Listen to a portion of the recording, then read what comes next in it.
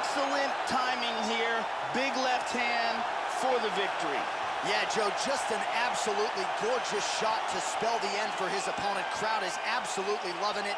He gets the near-perfect land. I'm not even sure his opponent saw it coming, but just the way he drew it up here tonight, saw that little crack of an opening and barged right through it to get the knockout. Caught him right there, had him in all sorts of trouble, Check it out here. Bang. And there he is, all smiles.